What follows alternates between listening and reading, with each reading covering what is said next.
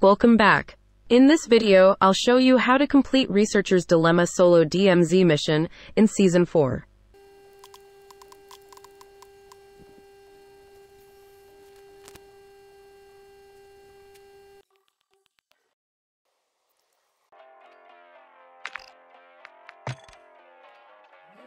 First, you need to pick up the researcher's notes from the Vondel Zoo Veterinary Office, and you will find it in this point.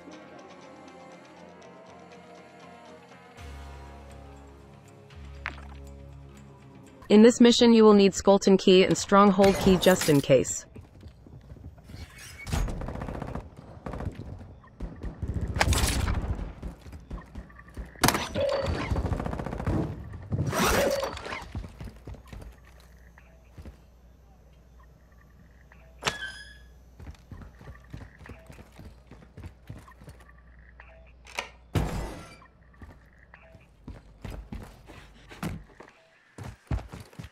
Second, you need to find the false notes in church near the castle section of the Vondel map, and you will find it in this point. Cabrón,